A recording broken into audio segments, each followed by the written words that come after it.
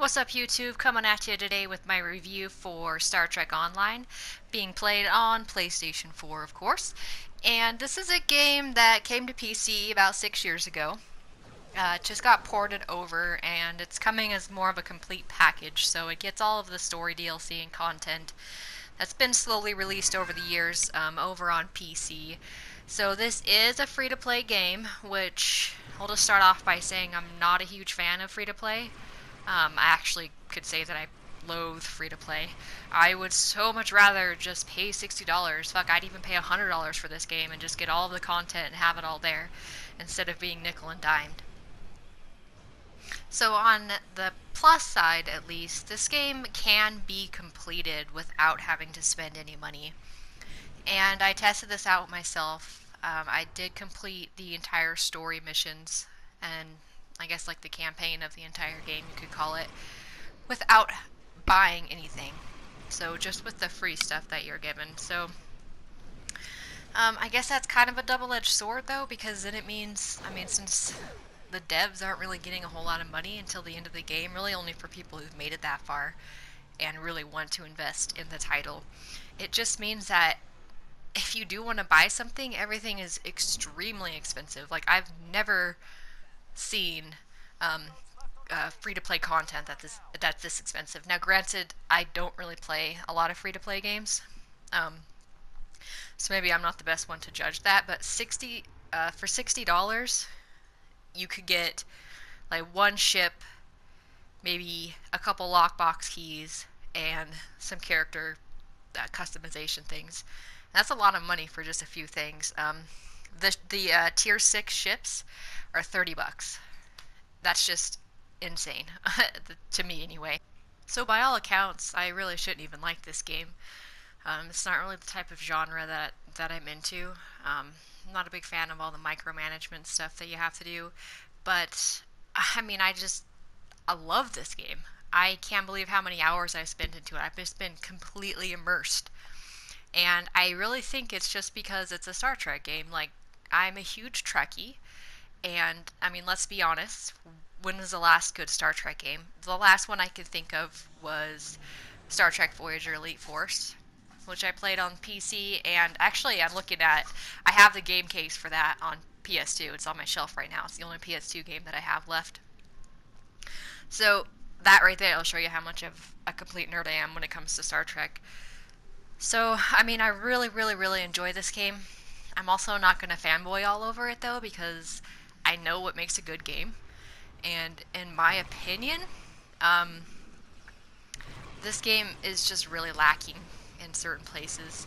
So I'm going to just start off with the gameplay. The ship combat is awesome. Top notch, probably the best on console. In fact, the only other game I can really think of right now that comes close would have to be Rebel Galaxy, which I really enjoyed. I actually platinumed it a couple months ago. I think it was free on PS Plus.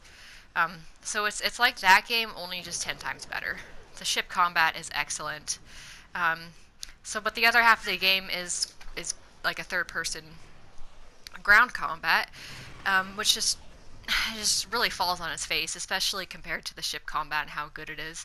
It was coming to the point um, early on in the game where I'd see a, a ground combat section coming up, like I'd have to beam down to the planet, and I just kind of get this dread, like, oh god, okay, let me just go through this as fast as I can so I can get back into space and do the fun stuff, right? So it's just it's boring and the the quests are just like basic fetch quests, just like the same thing over and over again. Boring, repetitive, not that fun. Now, I am having a lot more fun with it since I'm towards um, the end of the game, so I have uh, high level gear and stuff. I'm not being wiped out like every every 10 seconds, and it's getting a bit better.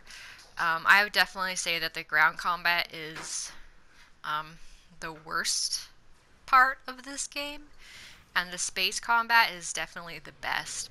So thankfully, it's not an even split. It's not like 50% space combat and 50% ground combat. It leans more onto the space combat side, which I think definitely um, it helps the game quite a bit. It seems like the developers kind of know that the ground combat isn't that great. It kind of feels like I don't know, it kind of just feels like an add-on, like something that was just tacked on. So they could say it's like, oh, it's the whole Star Trek experience, right? You have a away team and you get to go down to the planet, so we have to put that in there because can you just have a Star Trek space game? Well, you can because we've had them before, but they haven't been that great. So this game tries to like inc- include all of it. But if they could have had the space combat um, in it the way that this game has, and then maybe they could have done like a first-person thing with like Star Trek Voyager Elite Force, like how that game was structured. I mean, that would have been awesome. That would have been oh my gosh, it would have been so great. So let's move on to graphics here. The uh, the space stuff, once again, it looks great. I mean, the way the sunlight reflects off your ship and the particle effects, like flying through nebula, the, all that stuff looks really good. And uh, of course, the ground stuff just doesn't look that great. I was there were so many times where I like run up to a rock and I'm just staring at it, waiting for the texture to load. Like, is it gonna even fucking show up? It just looks like a kid took a gray Crayola and just smeared it all over the screen. Like, the stuff on the ground is horrible. It really, really does look like a PS2 game. And it reminds me a lot, actually, of the original Mass Effect. So, once again, space stuff awesome, ground stuff not too great. Definitely outdated. I mean, it is a six year old game, definitely shows its age. So, uh, sound. Uh, another area where it's really awesome in space and really bad on the ground. It's almost like this is two separate games. It's really strange. Um, the torpedoes, phasers, everything in space, uh, the sound of a singularity core inside of a Romulan warbird going critical and exploding is really top notch. It's awesome. It's very gratifying. And then on the ground, like little pew pew of lasers and stuff, it's just so dumb. It just doesn't fit with the game. It's not satisfying. It's boring. It's annoying hearing the same freaking laser sound over and over and over again. And there were some uh, missions where I actually had to turn the sound completely off because something was horribly wrong. Like, I don't know if you guys have ever been in a really old car and turned up the stereo like really loud and it's just like they're vibrating and just sounds horrible, like blown out speaker sound. I don't know how, like, how that got through Q&A. Like, I, I literally could not listen to it because it was like hurting my head. So, nah, sound. I mean, I have to say, like, this game is pretty average and the space stuff is great the ground stuff is bad, and you put it together and you just get kind of an average package. So, again, sound is um, just average. Uh, voice acting is pretty bad. Um, there is a lot of nostalgic uh, stuff going on though with the voices because there's a lot of voice actors that show up from the TV shows, um, especially Star Trek Voyager, which is awesome for me because that is my favorite Star Trek. But I mean, even even they just sound okay. So, voice acting is okay. So the one thing I would say that this game really does right is it really brings the Star Trek universe to life. And anybody who's a Trekkie is to be recognizing a lot of things throughout the missions that you're going to remember from the TV shows, um, characters, uh, set pieces, ships, uh, aliens. I mean, just there's never been a Star Trek game that really just has like everything from the Star Trek universe in one package. So that's really cool, and you know, as a Star Trek fan, I love it. I think it um, makes me a little bit uh, more able to kind of overlook some of the issues of the game. And the game definitely has a lot of issues. I mean, just a lot of bugs that I don't think that the average gamer is going to be able to suffer through. I mean, the game definitely gets better the longer you play, but I just can't imagine many people are going to make it towards the end. This game, it just feels like it tries to deter you. It's almost like it doesn't want you to get to the end. I don't understand like why like even at the very beginning of the game through the tutorial, the tutorial is like one, it's like the worst tutorial that I've ever played. It doesn't tell you anything, it's confusing it's long, it's obnoxious. It took me two days just to get through the freaking tutorial. And when you have to go on a Google because you're stuck on the tutorial, because some piece of text doesn't load or something random like that, that's definitely not good.